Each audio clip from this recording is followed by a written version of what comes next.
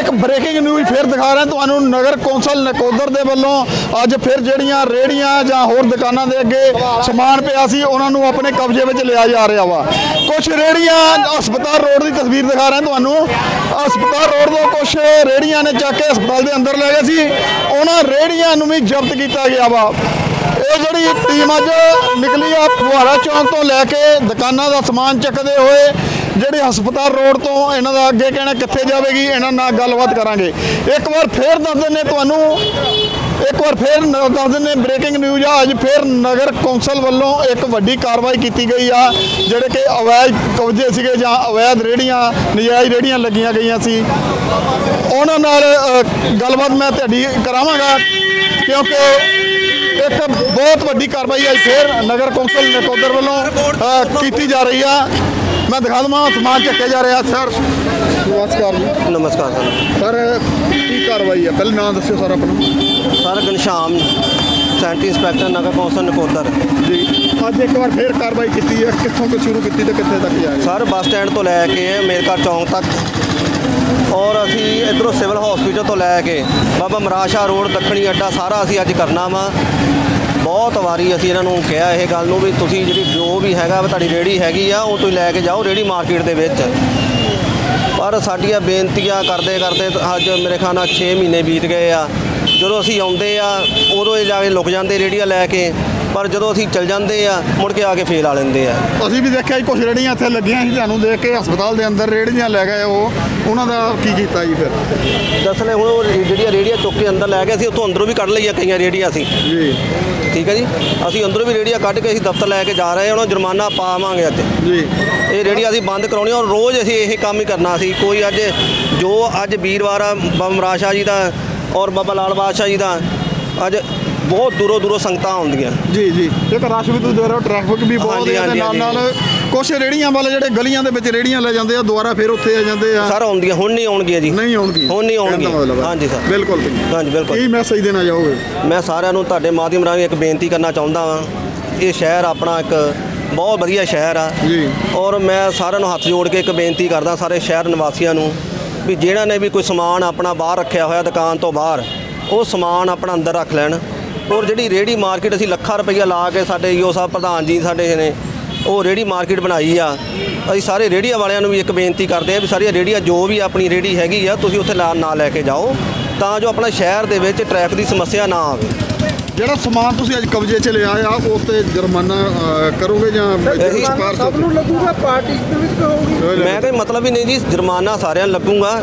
ਜੋ ਸਾਡੇ ਈਓ ਸਾਹਿਬ ਸਾਡੇ ਮਾਨਯੋਗ ਈਓ ਸਾਹਿਬ ਸਾਨੂੰ ਹੁਕਮ ਕਰਨਗੇ ਉਸ ਹਿਸਾਬ ਦੇ ਨਾਲ ਜੁਰਮਾਨਾ ਲਾ ਕੇ ਅਸੀਂ ਜੋ ਅਗਲਾ ਪ੍ਰੋਸੈਸ ਅਸੀਂ ਕਰਾਂਗੇ। ਕੋਈ ਸ਼ਾਮ ਜੀ ਜੇ ਕੋਈ ਇੱਕ ਸਵਾਲ ਆ ਜਿਹੜੀਆਂ ਰੇੜੀਆਂ ਵਾਲੇ ਆ ਰੇੜੀਆਂ ਵਾਲੇ ਇੱਕ ਬਾਰ-ਬਾਰ ਪੁੱਛਦੇ ਵੀ ਜਾਣ ਤੇ ਕਿੱਦਾਂ ਜਾਣ ਕਿਸ ਤਰ੍ਹਾਂ ਜਾਣ ਉਹ ਵੀ ਸਾਡੇ ਚੈਨਲ ਰਾਹੀਂ ਤੁਸੀਂ ਦੱਸ ਦਿਓ ਉਹਨਾਂ ਨੂੰ ਜਰਾ ਪਤਾ ਲੱਗ ਜੂਗਾ ਇਹ ਕਿੱਦਾਂ ਜਾਣ ਮੈਂ ਸਮਝਿਆ ਯਾਨੀ ਨਹੀਂ ਜਿੱਦਾਂ ਤੁਸੀਂ ਚੱਕ ਲਈਆਂ ਰੇੜੀਆਂ ਸੜਕਾਂ ਤੇ ਲੱਗਦੀਆਂ ਰੋਡਾਂ ਤੇ ਲੱਗਦੀਆਂ ਉਹ ਰੇੜੀਆਂ ਕਿੱਥੇ ਲੱਗਣਗੀਆਂ? ਉਹ ਸਰ ਅਸੀਂ ਦੇਖੋ ਅਸੀਂ ਤਾਂ ਇਹਨਾਂ ਨੂੰ ਰੇੜੀ ਵਾਲਿਆਂ ਨੂੰ ਬਾਰ-ਬਾਰ ਸੱਦ ਕੇ ਇੱਕ ਬੇਨਤੀ ਕੀਤੀ ਆ ਵੀ ਤੁਸੀਂ ਰੇੜੀਆਂ ਆਪਣੀਆਂ ਬੱਸ ਸਟੈਂਡ ਦੇ ਅੰਦਰ ਵੀ ਲਾ ਸਕਦੇ ਆ। ਜੀ।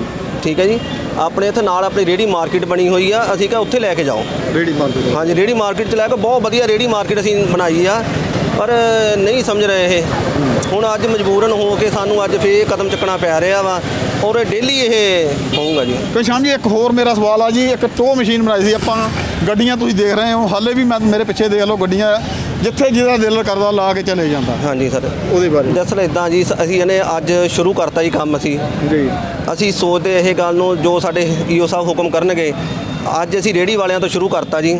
ਅਸੀਂ ਉਹਨਾਂ ਨੂੰ ਇਹ ਬਾਰ-ਬਾਰ ਬੇਨਤੀਆਂ ਕਰਦੇ ਹਾਂ ਵੀ ਤੁਸੀਂ ਆ ਕੇ ਆਪਣੀ ਰੇੜੀ ਰੇੜੀ ਮਾਰਕੀਟ ਦੇ ਵਿੱਚ ਲਾਓ। ਉਸ ਤੋਂ ਬਾਅਦ ਅਸੀਂ ਮੁੜ ਕੇ ਜਿਹੜੇ ਸਾਡੀ ਢੋ ਬਣੀ ਹੋਈ ਆ ਆਪਣੀ। ਢੋਅ ਮਸ਼ੀਨ। ਬਣੀ ਹੋਈ ਆ ਉਹ ਅਸੀਂ ਉਸ ਤੋਂ ਬਾਅਦ ਫਿਰ ਗੱਡੀਆਂ ਚੁੱਕਣੀਆਂ ਸ਼ੁਰੂ ਕਰ ਦੇਣੀਆਂ ਵਾ। ਇਹ ਕਰ ਦੇਵਾਂਗੇ ਸਮੱਸਿਆ ਇਹ ਹੱਲ ਜੀ। ਸਰ ਕੁਝ ਲੋਕਾਂ ਦੇ ਸਾਨੂੰ ਸਵਾਲ ਆਉਂਦੇ ਆ ਕੁਝ ਹੋਰ ਏਰੀਆ ਆ ਸਬਜ਼ੀ ਮੰਡੀ ਆ ਕੁਝ ਮਾਲੜੀ ਗੇਟ ਦੇ ਅੰਦਰ ਨੂੰ ਵੀ ਚਲੇ ਜਾਈਏ ਜਾਂ ਮਾਲੜੀ ਗੇਟ ਦੇ ਬਾਹਰ ਉਸ ਰੋਡ ਤੇ ਚਲੇ ਜਾਈਏ ਉੱਥੇ ਵੀ ਬਹੁਤ ਕਬਜ਼ੇ ਇਸ ਤਰ੍ਹਾਂ ਦੇ ਹਾਂਜੀ ਸਰ ਇਦਾਂ ਨਹੀਂ ਸਰ ਅੱਜ ਜੋ ਸਾਨੂੰ ਸਾਡੇ ਈਓ ਸਾਹਿਬ ਉਹਨਾਂ ਨੇ ਸਾਨੂੰ ਜੋ ਸਾਨੂੰ ਹੁਕਮ ਕੀਤਾ ਵਾ ਜੋ ਸਾਨੂੰ ਰੂਟ ਦਿੱਤਾ ਵਾ ਉਹ ਅਸੀਂ ਅੱਜ ਕਲੀਅਰ ਕਰ ਦੇਣਾ ਵਾ। ਜੀ। ਉਸ ਤੋਂ ਬਾਅਦ ਕੱਲ ਅਸੀਂ ਦੇਖਾਂਗੇ ਵੀ ਜਿਹੜਾ ਕਿਹੜਾ ਸਾਨੂੰ ਰੂਟ ਮਿਲਦਾ ਸੀ ਉਸ ਰੂਟ ਦੇ ਨਾਲ ਚੱਲਾਂਗੇ। ਬਹੁਤ ਬਹੁਤ ਸ਼ੁਕਰੀਆ ਸਰ। ਕੀ ਨਾ sir? Sir Kapil Sharma. Sir ਕੀ ਕਾਰਵਾਈ ਕਰ ਰਹੇ ਹੋ ਅੱਜ? ਸਰ ਸ਼ਹਿਰ ਦੇ ਵਿੱਚ ਵੱਧਦੀ ਹੋਈ ਟ੍ਰੈਫਿਕ ਸਮੱਸਿਆ ਨੂੰ ਦੇਖਦੇ ਹੋਏ ਸਾਡੇ ਮਾਨਯੋਗ ਈਓ ਸਾਹਿਬ ਤੇ ਪ੍ਰਧਾਨ ਜੀ ਦੇ ਹੁਕਮਾਂ ਅਨੁਸਾਰ ਅੱਜ ਕਾਰਵਾਈ ਦੁਬਾਰਾ ਕੀਤੀ ਗਈ ਆ। ਰੇਹੜੀ ਵਾਲਿਆਂ ਨੂੰ ਬਾਰ-ਬਾਰ ਬੇਨਤੀ ਕੀਤੀ ਗਈ ਹੈ ਕਿ ਤੁਸੀਂ ਰੇਹੜੀਆਂ ਆਪਣੀ ਰੇਹੜੀ ਮਾਰਕੀਟ ਲੈ ਕੇ ਜਾਓ। ਉਸ ਨੂੰ ਅਮਲ ਦੇ ਵਿੱਚ ਲਿਆਉਂਦੇ ਹੋਏ ਅੱਜ ਫੇਰ ਦੁਬਾਰਾ ਨਗਰ ਕੌਂਸਲ ਦੀ ਟੀਮ ਵੱਲੋਂ ਕਾਰਵਾਈ ਕੀਤੀ ਗਈ ਆ। ਇੱਦਾਂ ਹੀ ਜਾਰੀ ਰਹੂਗੀ। ਇਸੇ ਤਰ੍ਹਾਂ ਹੀ ਕਹਿੰਦੇ ਜਾਰੀ ਰਹੂ। ਕਿ ਸ਼ਾਮ ਜੀ ਇੱਕ ਮਿੰਟ ਇੱਕ ਮਿੰਟ ਇੱਕ ਮੇਰੇ ਸਵਾਲ ਦਾ ਜਵਾਬ ਹੋਰ ਦੇ ਜੀਓ। ਇਹ ਅੱਜ ਦਾ ਕਿੱਥੇ ਤੱਕ ਦਾ ਟਾਰਗੇਟ ਜਿਹੜਾ ਤੁਹਾਡਾ ਅੱਜ ਦਾ? ਸਰ ਅੱਜ ਬੱਸ ਸਟੈਂਡ ਤੋਂ ਸ਼ੁਰੂ ਹੋਏ ਤੁਸੀਂ। ਹਾਂਜੀ ਸਰ ਬੱਸ ਸਟੈਂਡ ਤੋਂ ਸ਼ੁਰੂ ਕਰਕੇ ਅਸੀਂ ਅੰਬੇਦਕਰ ਚੌਂਕ ਗਏ। ਜੀ। ਉਧਰੋਂ ਸਿਵਲ ਹਸਪੀਟਲ ਤੋਂ ਮਕਵਰਿਆਂ ਵਾਲੇ ਸਾਈਡ ਜੀ। ਦੱਖਣੀ ਅੱਡੇ ਤੋਂ ਲੈ ਕੇ ਬਾਬਾ ਮਰਾਸ਼ਾ ਰੋਡ। ਜੀ। ਤੇ ਅਸੀਂ ਸਾਰਾ ਇਹ ਰੂਟ ਸਾਡੇ ਇਹ ਕੋਲ। ਜਾਨੀ ਕਿ ਬ- ਸਾਰੀਆਂ ਰੇੜੀਆਂ ਜਿੰਨਾ ਵੀ ਆ ਜੋ ਸਭ ਕੁਝ ਜੋ ਬੋਰਡ ਆ ਰੇੜੀਆਂ ਆ ਜਾਂ ਕੁਝ ਵੀ ਆ। ਜੋ ਵੀ ਦੁਕਾਨ ਤੋਂ ਸਮਾਨ ਬਾਹਰ ਰੱਖਿਆ ਗਿਆ ਵਾ ਅਸੀਂ ਸਾਰਾ ਹੀ ਉਹ ਜ਼ਬਤ ਕਰਨਾ ਅੱਜ। ਰੇੜੀਆਂ ਜ਼ਬਤ ਕਰਨੀਆਂ ਵਾ। ਜੇ ਤਾਂ ਮੰਨ ਜਾਣਗੇ ਠੀਕ ਆ ਨਹੀਂ ਤਾਂ ਇਹਨਾਂ ਨੂੰ ਭਾਰੀ ਜੁਰਮਾਨਾ ਲਾ ਕੇ ਛੱਡਾਂਗੇ। ਸਰ ਇੱਕ ਵਾਰ ਫੇਰ ਅੱਜ ਨਕੋਦਰ ਦੇ ਵਿੱਚ ਕਾਰਵਾਈ ਕੀਤੀ ਜਾ ਰਹੀ ਆ। ਕੀ ਕਹਿਣਾ ਚਾਹੋਗੇ ਸਰ ਉਹਦੇ ਹਾਂ ਇਸ ਤਰ੍ਹਾਂ ਕਿ ਪਿਛਲੇ 2-4 ਦਿਨਾਂ ਤੋਂ ਨਾ ਸਾਨੂੰ ਕਾਫੀ ਸ਼ਿਕਾਇਤਾਂ ਆ ਰਹੀਆਂ ਸੀ ਕਿ ਨਕੋਦਰ ਵਿੱਚ ਜਿਹੜੀ ਟ੍ਰੈਫਿਕ ਆ ਉਹਦੀ ਸਮੱਸਿਆ ਬਹੁਤ ਜ਼ਿਆਦਾ ਹੋ ਗਈ ਆ। ਫਿਰ ਅਸੀਂ ਜਿਸ ਲਈ ਉਹਨੂੰ ਫਾਈਂਡ ਆਊਟ ਕੀਤਾ ਕਿ ਇਹਦਾ ਕਾਰਨ ਕੀ ਆ।